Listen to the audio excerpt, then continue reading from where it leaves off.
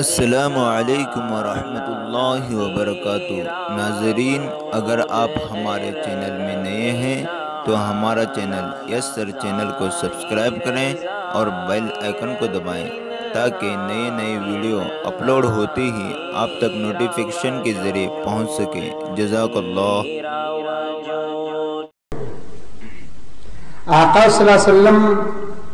दुनिया में तशरीफ़ लाए तो अल्लाह तबारक व ताला ने आका को और आका की उम्मत को बेशुमार नेमतों से नवाजा।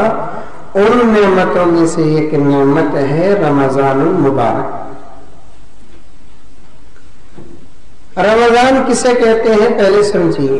बिल्कुल छोटी छोटी बातें बोलकर अपनी बात को खत्म करूँ। मैं भी बहुत थका हुआ हूँ मुसलसल सफ़र की वजह से।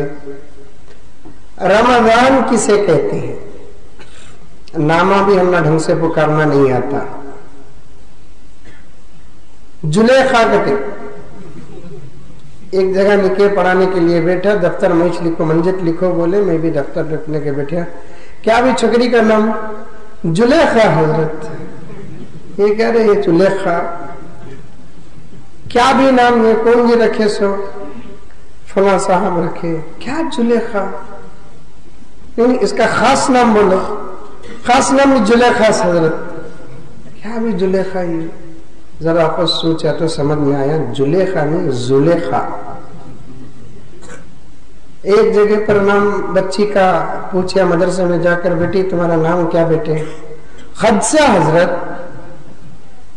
खदसा खदशा सुने आने वाले हादिसे का खौफ जो होता है, उसे कहते हैं खदशा। ये खदसा खदसा बोलती ना, क्या नाम? मैं हज़रत को पूछा, क्या भी इसका नाम हो? हज़रत खतीजा हज़रत वो इसके घर में वैसा पुकारती इन्हें वैसा बोलती। नाम ढंग से पुकारना नहीं आता हम सही नाम पुकारो और अच्छे नाम पुकारो। प्यारे नाम पुकारो, सही तलफुज के साथ पुकारो। अहले अरब नाम पुकारने में बहुत मोहताज। नाम मालूम हुआ तो उसका क्या नाम है? पूरा नाम पुकारते अगर नाम मालूम नहीं तो यहाँ जैसे किसका तुम्हें नाम मालूम नहीं रहा तो जय पीर। बोलते नहीं कौन तो भी बड़े मियाँ ही नाम मालूम नहीं, मामू चिच्चा पुकारते नहीं। वहाँ अहले अरब अरब में अगर किसी का नाम नहीं मालूम हुआ तो उसे आखा के नाम के साथ पुकारते मोहम्मद! ऐसे पुकारते मोहम्मद! ताल तफीन ताल। क्या अंदाज है अहले अरब का? मोहम्मद! पूरे नाम पुकारो और अच्छे तरीके से पुकारो। उन्हीं नामों में से एक नाम है रमवान। रमज़ान। रमवान। शायर रमज़ान कुरान रमवान मीम पर जबर। रमज़ान किसे कहते हैं? क्या माना है इसका? क्या मतलब है इसका? कभी आप किसी मौलाना को पूछे। मौलाना इस महीने का नाम रमज़ान है, इसका माना क्या?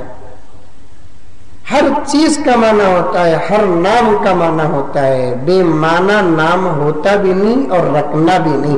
अगर रखना है तो अच्छे नाम रखो जिसके माने भी अच्छे हो और इस्तेमाल भी अच्छा हो।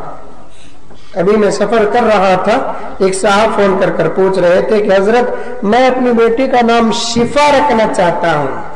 आपकी क्या राय है? मैंने कहा, मेरी नहीं, बल्कि पैगंबर की राय बताता हूँ आपको, पैगंबर का ख्याल बताता हूँ मैं आपको। अल्लाह के रसूल सल्लल्लाहु अलैहि वसल्लम शिफा और बरकत जैसे नाम रखने से मना किया है। क्यों मना किया? अच्छा है नहीं नाम शिफा? बहुत प्यारा है नाम। लेकिन अल्लाह के रसूल ने मना किया है, बरकत। अच्छा है नाम। मना किया अल्लाह के रसूल वसल्लम, क्यों? अगर किसी बच्ची का नाम शिफा है, आप बाप है उसके, बाहर से आए, बेटी को पुकारा, शिफा इधराओ माँ खुदा न खास्ता बच्ची घर में नहीं, बच्ची की अम्मा बड़ी भान बोलेगी, नहीं है शिफा। तो मतलब बड़ा बुरा होता है इसका। शिफा नहीं बोले तो क्या है? बीमारी। पैगंबर दो तरफ़ से सोचकर अपनी उम्मत को सवारा है। किसी का नाम बरकत है, घर के अंदर आए। आगे दो बरकत। घर में बोले, बरकत नहीं है, माना अच्छा नहीं लगता। मुसलमान और बरकत ना हो, मुसलमान और रहमत ना हो, मुसलमान और शिफा न हो नाम भी रखना है तो ऐसा नाम जो आपके हर हालत में वो नाम फिट होता हो। नाम भी अच्छा हो, पुकारने में भी अच्छा हो माने में भी अच्छा हो, हालात में भी अच्छा हो ऐसा नाम रखना है। और अल्लाह तबारक व ताला ने अपने तमाम पैदा करदा चीज़ों के नाम रखे हैं। उन्हीं चीज़ों में से एक है रमज़ान तो उसका भी माना है। बगैर माने का नाम नहीं है। रमज़ान का भी माना है शाहबान का भी माना है। रजबुल मुरजब का दीवाना है, रबीउल अव्वल का दीवाना है शवानुल मुकर्रम का दीवाना है जुल्कादा और जुल्हिज्जा का दीवाना है। तमाम बारह महीनों के नाम भी हमदिल्ला है। मैं एक रमज़ान का माना बताकर और उसकी नस्बत भी बता दो कि अल्लाह के रसूल सल्लल्लाहु अलैहि वसल्लम ने इसका नाम रखा और शरीयत ने इसका नाम रखा। रमज़ान रमज़ान किसे कहते हैं? अहले लगत और अदब फरमाते हैं। रमज़ान उस भट्टी को कहते हैं जिसके अंदर गंदी चीज़ को डालते हैं। तो उस भट्टी में पिघल कर जल कर वो चीज़ पाक हो जाती है। भट्टी बोले तो समझते। नहीं समझते। जरा मस्जिद में कौन नमाज़ कर रहे हैं देखिए। रमज़ान किसे कहते हैं? उस भट्टी को कहते हैं। आग को कहते हैं। जंग आलूद लोहा, जिसमें जंग लगा हुआ है। लोहे की शक्ल बदल चुकी है। उसे उस भट्टी में अगर डालते हैं तो भट्टी में वो लोहा जलने के बाद, पकने के बाद लोहा साफ़ और शफाफ हो जाता है। उस भट्टी को रमज़ान कहते हैं। चलो, वहाँ तो बात समझ में आ रही है। लोह को तपाने के लिए जिस आग को सिलगाया जाता है, आग का जो हिस्सा बनाया जाता है, उसी कहते हैं रमज़ान। तो फिर अल्लाह और उसके नबी और शरीयत ने उस नाम को उठाकर इस महीने में रखा क्यों? सवाल समझ में आ रहा है? सवाल आ रहा है कि नहीं है सवाल। उस व्यक्ति को कहते हैं जो आग में रहने के बाद आग साफ़ हो जाता है, उस नाम को उठाकर अल्लाह तबारक ताला ने इस महीने में क्यों रखा? और इस महीने में मुसलमान करता क्या है? क्या करते हैं इस महीने में हम लोग? करना क्या है इस महीने में? कपड़े की फ़िक्र करना, शहरी की फ़िक्र करना, इफ्तारी की फ़िक्र करना। समझ में बात पुराने टोपियाँ पहनना। इस महीने का अहम काम और इस महीने की अहम इबादत क्या है? रोजा। जिसे अरबी में सोम कहते हैं।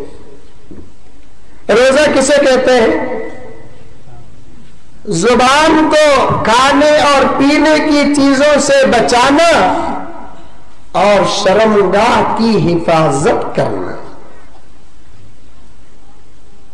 ज़ुबान को बचाना, खाने और पीने की चीज़ों से, और शर्मगा को बचाना, खुद अपनी बीवी से या बीवी अपने शौहर से। ये सौम का माना आता है। रोजा रखते हैं इस महीने में।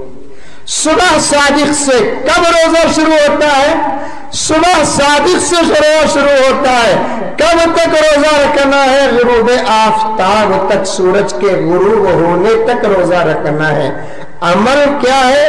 रोजा। नाम क्या है? भट्टी। क्या ताल्लुक है इसके अंदर? नाम हो तो अमल वैसा हो, अमल हो तो नाम वैसा हो। तभी जाकर हुस्न पैदा होता है, तताबुक होती है। किसी का नाम चाँद पाशा रखे, बच्चा काला कलटा है, नाम और जात में कोई ताल्लुक नहीं है। किसी का नाम कुछ और किसी का काम कुछ है, नाम और जात में ताल्लुक नहीं है। नाम और जात के दरमियान में ताल्लुक होनी चाहिए। हज़रत अबू बकर का पूरा नाम क्या? हज़रत अबू बकर सिद्दीक। सिद्दीक नाम था। सदाकत हज़रत अबू बकर के अंदर थी। उमर का नाम क्या था? फारूक आज़म। फारूक नाम था। अदालत हज़रत उमर के अंदर थी। उस्मान गनी गनी नाम था। हज़रत उस्मान के पास पैसा था दौलत थी। हज़रत अली हैदर करार, हज़रत अली के अंदर शुजाहत थी। जैसा नाम वैसी जात होती है। जात और नाम के दरमियान सहाबा में तताबुक था। जात और नाम के दरमियान सहाबा के अंदर जोड़ था। हज़रत ताबीन के नाम और जात में जोड़ था। औलिया के नाम और जात में जोड़ था। गौस और खुतब के नाम और जात में जोड़ था। लेकिन हमारे नाम और जात में जोड़ नहीं। नाम रमज़ान है। काम रोजा है।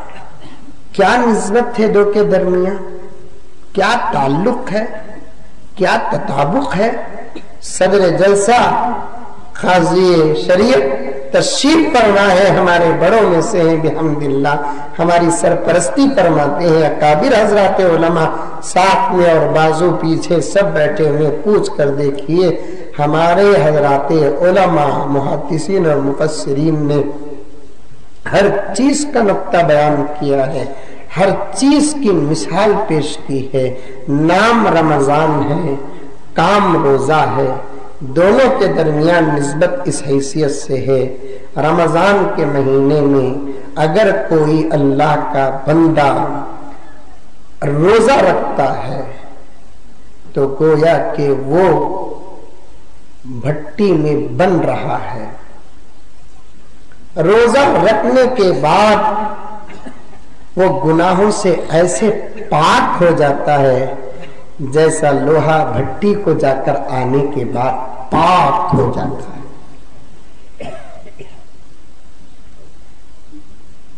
क्यों रोजा रखने का हुक्म? दूसरी बात, रोजा का माना क्या? खाने पीने से बचना। क्यों अल्लाह नहीं खिला रहे?